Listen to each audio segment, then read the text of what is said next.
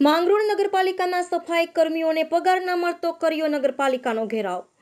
Contract બેઝના કર્મચારીઓને પાછલા ચારેક માસથી પગાર અને અંદાજિત દસ વર્ષનો પીએફ મળ્યો ના હોવાથી માંગરોળ નગરપાલિકાનો ઘેરાવ કરી પાછલા ત્રણ દિવસથી ઉપવાસ પર ઉતર્યા હતા. સાથે સફાઈ કર્મીઓએ જણાવ્યું હતું કે જો અમારી આ માંગણીઓને પરિપૂર્ણ કરવામાં નહીં આવે તો ધરણાઓ, રેલીઓ, પોસ્ટકાર્ડ, ઝુંબેશ, પુતળા દહન અને રસ્તા રોકો આંદોલનની ચીમકી આપી હતી.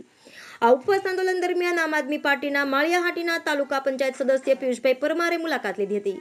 અને સફાઈ કર્મીઓના આ આંદોલનને ટેકો જાહેર કરતા જણાવ્યું હતું કે જો વહેલી તકે સફાઈ કર્મીઓની માંગણીઓને પૂર્ણ કરવામાં નહીં આવે તો હું અને અમારી આમ આદમી પાર્ટીના કાર્યકરો માંગરોળ નગરપાલિકા કચેરી ખાતે અંજણનો ત્યાગ કરીશું.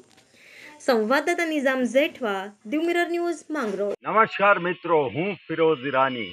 આજે તમને એક નવી વાત કરવા આવ્યો છું. દીવ મિરર ન્યૂઝ જોતા રહો સબસ્ક્રાઈબ કરવાનું ભૂલતા નહીં અને શેર કરવાનું પણ ભૂલતા નહીં, સત્યની સાથે જોડાતા રહો.